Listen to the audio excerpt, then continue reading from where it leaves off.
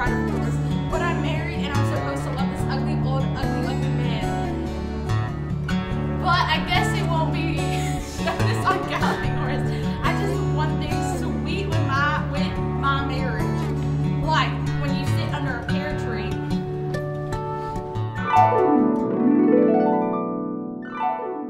Janie, I'm as busy as a one-legged cat in a sandbox. Come out here and help me pick up this cow poo. Place and you're in yours. You have no place. You go where I tell you to go. Hey! So today, guys, I came home from the fields, you know, putting that work in, and I get to work with my lover and friend, you know. Vergible. What better combo, you know? I just really feel that Tea Cake, uh, understands me as a woman. Logan and Joe could never.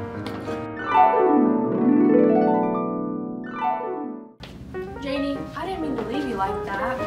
And no woman got me like you, Janie. I just really love you, and I wouldn't be calling you Mrs. Woods for no reason.